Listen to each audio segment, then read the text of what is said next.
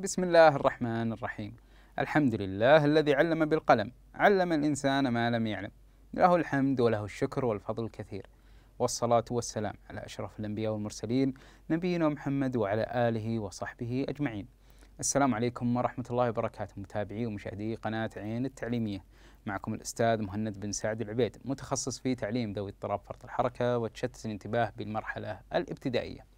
حديثنا اليوم في مجال اضطراب فرط الحركة وتشتت الانتباه للفصل الدراسي الثالث وموضوعنا عن المهارات التنفيذية عند الطلاب ذوي اضطراب فرط الحركة وتشتت الانتباه في جزئه السادس تحت موضوع بدء المهمة.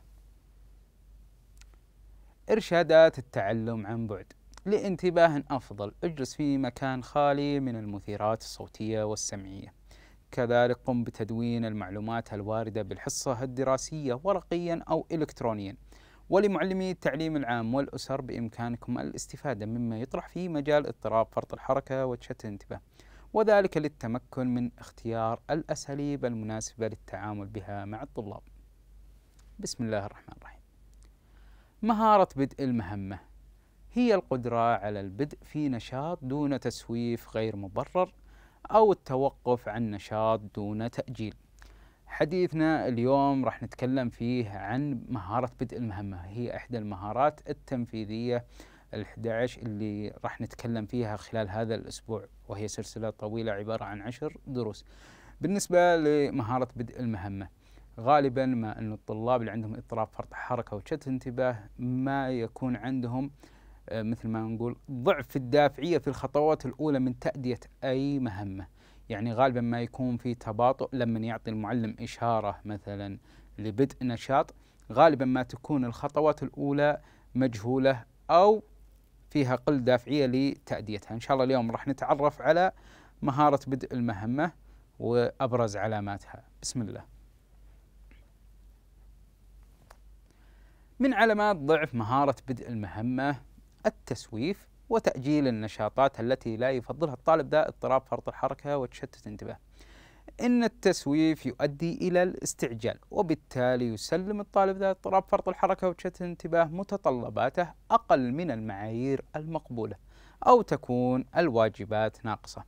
بالنسبة للعلامة بدء المهمة لما تكون ضعيفة عند الطالب ذا فرط الحركة وتشتت الانتباه على سبيل المثال دائما ما نلاحظ على الطالب تأجيل الواجبات. يعني لما يرجع البيت خلينا نقول أنه فترة العصر هي الفترة اللي غالبا ما أنه الأهل يكونون جميعهم متواجدين في المنزل وبالتالي تكون هي فترة المذاكرة وحل الواجبات والمراجعة.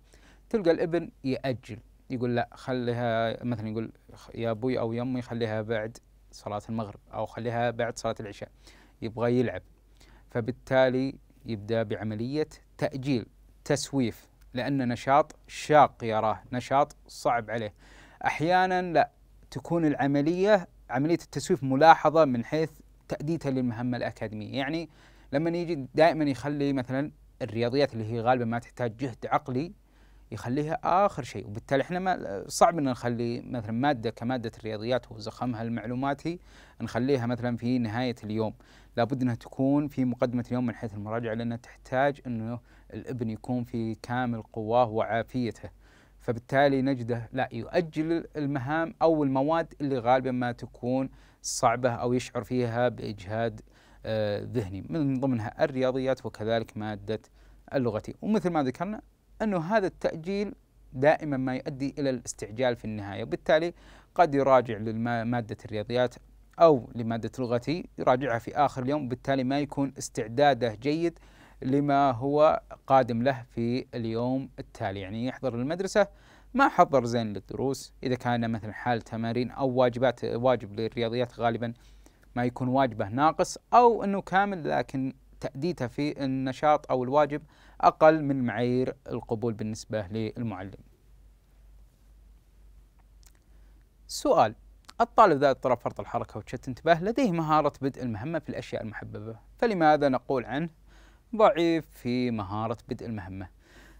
مثل ما هو واضح أمامكم في الإجابة. مهارة بدء المهمة طبيعي أنها تكون آه، مهارة قوية لجميع البشر لكن أمانة غالبا ما تكون ضعيفة في الجانب الأكاديمي بالنسبة للطالب اللي عنده اضطراب فرط حركة وشتت انتباه بحكم أنه العملية الشاقة مثل ما قلنا غالبا يحاول أنه يتجنبها. لذلك اختيارنا لمسألة أن نسمي آه، هذا تسويف أو تأجيل غير مبرر للفرد بشكل عام عندما عندما يؤجل نشاط أساسي في حياته، بالنسبة للطالب عنده اضطراب فرط حركة وانتباه يؤجل نشاط دراسي وبالتالي يطلق على هذا الأمر تسويف، تأجيل أي مكان ضعف مثل ما إحنا نسميه أو في درس اليوم ضعف في مهارة بدء المهمة، فدائما مثل ما وضحنا هنا إنه غالبا المهارات المزعجة أو الشاقة أو المنفرة الأكاديمية لابد أنه يطبقها مثلها مثل المهارات البسيطة السهلة الممتعة. يعني يكون عنده دافعية مثل ما هو عنده دافعية للعب يكون عنده كذلك دافعية ولو نقول في المئة في المهارات أو الأنشطة الأكاديمية. تعتبر مهارة بدء المهمة مهارة يعتمد فيها الطالب على نفسه وذلك من خلال ترسيخ الأعمال الروتينية. روتين الصباح يعني يوميا يستيقظ آه، يغسل وجهه يفطر يغسل أسنانه ويفرش أسنانه ثم يلبس ثوبه ويتوكل على الله للمدرسة. كذلك ما بعد المدرسة يخلع ثيابه إذا كانت متسخة يستحمى يحضر نفسه لوجبة الغداء بعدها آه، إذا كان بيلعب شوي ثم يحضر نفسه ما بعد ساعة العصرية للمذاكرة. كذلك في روتين ما قبل النوم. ينبغي أن يتعلم الابن الخطوات الأولى لإنجاز مهام تم الاتفاق عليها مع أسرته. كذلك تعتبر مهارة بدء المهمة من أهم المهارات التي يجب أن يكتسبها الطفل في مرحلة الروضة. كذلك ما يميز مهارة بدء المهمة أنها تعلم الطالب إنجاز ما هو مطلوب حتى وإن كانت غير ممتعة وكذلك تجاهل أو تأجيل ما يريد. بالنسبة لملخص النقاط اللي ذكرناها في هذه الشريحة. بالنسبة للنقطة الثالثة تعتبر مهارة بدء المهمة. آه، مثل ما ذكرنا عفوا مهارة بدء المهمة من أهم المهارات اللي لابد أنه يكتسبها في مرحلة الروضة. الهدف من أنه يكتسبها في مرحلة الروضة لأنها هي تعتبر مهارة أساسية في مرحلة الابتدائي يعني لابد أن هذه المهارة يكتسبها قبل السبع سنوات. إحنا صحيح قلنا أنه في مهارات عديدة اللي هي 11 مهارة لكن في بعض المهارات لابد إنه الإبن قبل أو الإبنة قبل الست سنوات إنه يكتسبها وهذه تعتبر من المهارات لأنه في صف أولى ابتدائي مباشرة راح يدخل على العمليات الأكاديمية الانضباط الصفي آه كذلك حول مجتمع آه مدرسي كبير فبالتالي لابد إنه يكتسب هذه المهارة. كذلك مثل ما قلنا إنه ما يميز هذه المهارة انه الابن لابد أنه يتعلم لأن لين راح المدرسة غالبا راح تكون أعمال شاقة وبالتالي يؤجل ما يريد. يبدأ بما لا يريد. صحيح انه سلوك مقبول لكنه غير محبب له وهو الأنشطة المدرسية. فبالتالي انه الطالب اللي عنده اضطراب فرط حركة وتشتت انتباه غالبا ما يكتسب هذه العملية بحيث أنه يعمل تأجيل للأشياء المعززة والمحببة له. يبدأ بالأعمال الشاقة. علامات إتقان الطفل لمهارة بدء المهمة في مرحلة الروضة. النقطة الأولى تطبيق التوجيه المباشر من معلمته. يتوقف عند اللعب عند أمره بذلك. يستعد للنوم أو الخروج للمدرسة بعد تذكيره لمرة واحدة. بالنسبة لي هذه النقاط لابد أنه على الطفل أو الطفلة خلال مرحلة الروضة لما تكون مهارة. طبعا إحنا مثل ما نعرف أن هذه المهارات صعبة أنه تطبق لطالب في مرحلة الروضة ولكن نعطي المعيار الأعلى لمهارة بدء المهمة. لابد إنه لما يجي توجيه مباشر مثلا تقول له المعلمة يلا يا محمد شل أدواتك أو ألعابك وحطها في الركن الخاص بك. فبالتالي يقوم بتطبيق التوجيه بشكل مباشر. كذلك عندما يؤمر بالتوقف عن اللعب. كذلك لابد إنه يستعد. لما يعني نقول ان مثلا الأهل في البيت جاء وقت نومه بالتالي يسبق أهله مثلا إلى إلى سريره ثم يأوي إليه. كذلك عند الخروج للمدرسة لابد أنه يكون على وجه الاستعداد. ومثل ما نوهنا أنها تعتبر من المهارات العالية وقليل من الطلاب في هذا العمر أنهم يطبقونها. علامات إتقان مهارة بدء المهمة في المرحلة الابتدائية. النقطة الأولى يطبق عمليتين روتينية متتابعة خصوصا في الصف الأول والثاني. يباشر العمل في الكتابة بعد تلقيه التعليمات من معلمه. يستطيع إنجاز الفرض المنزلي في وقت متفق عليه. يتبع روتين من ثلاثة أو أربع خطوات ما بين عمر التسع إلى الأحد عشر سنة. كذلك يمكنه حل ثلاث إلى أربع واجبات بشكل متعاقب. كذلك يمكنه أن يتبع جدول متفق عليه للبدء في مهام المسؤول عنها مع الاحتياج بالتذكير. بالنسبة للنقاط اللي ذكرناها النقطة الأولى أنه يطبق عمليتين آه، روتينية. يعني في صف أولى أو ثاني بإمكانه أنه مثلا أكرمكم الله يدخل دورة المياه مثلا قضى حاجته غسل يديه. فبالتالي تعتبر عمليتين. هذا المقصود بالعمليتين. كلا غسل يده عملية أولى. فرش أسنانه عملية ثانية. بالتالي هذه تعتبر معيار في الصف الأول والثاني ابتدائي. كذلك أنه يباشر العمل في الكتابة. يعني المعلم من يقول له يلا يا محمد ابدأ اكتب. يبدأ يمسك القلم يفتح الدفتر على يده على أول السطر إذا كان مثلا ينقل إذا كان الواجب مثلا نقلا أو التمرين فصل نقلا من السبورة عينه على السبورة إذا كان نقلا من الكتاب عينه على الكتاب. كذلك يتبع روتين من ثلاث إلى أربع وهذه تكون في ما بين التسع إلى العشر. يعني إنه الابن يقدر يدخل دورة المياه يستحمى يفرش أسنانه يطلع يلبس لبسه يكد شعره. فبالتالي هذه تعتبر من ثلاث إلى أربع خطوات.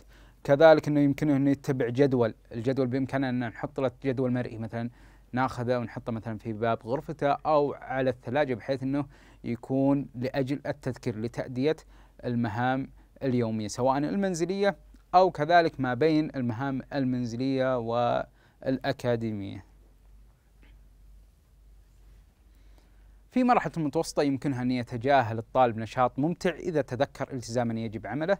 يمكن تأجيل الواجب إلى بعد العصر ولكن بدون تسويف. يمكنه كذلك أن يبدأ بالمهام الروتينية المتفق عليها مع أسرته ولا مانع من تزويده بالجدول. بالنسبة للنقطة الأولى أنه أحيانا لما يتذكر أنه عنده واجب بإمكانه أنه مثلا يأجل آه مثلا آه أنه يلعب كورة مثلا فترة العصر وبالتالي يؤدي واجبه.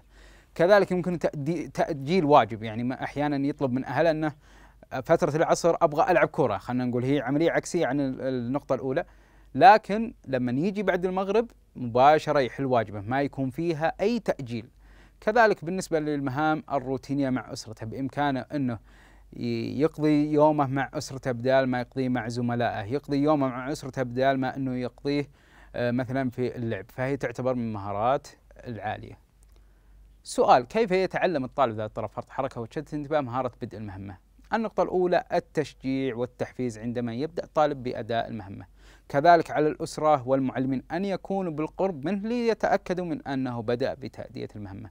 كذلك قدم له جدول تذكير مرئي حتى يرى عند العودة من المدرسة. مثل ما ذكرنا أنه بإمكاننا أن نلصق هذا الجدول في غرفته خصوصا إذا خصوصا إذا كان في مرحلة متوسطة وإذا كان في الابتدائي يفضل إلصاقها مثلا على باب الثلاجة. كذلك قسم المهارات الشاقة إلى سلسلة من المهام. يعني بإمكاننا نقول له يلا يا محمد وش ودك ودك تبدأ بمثلا الواجبات السهلة أو القصيرة قبل الطويلة.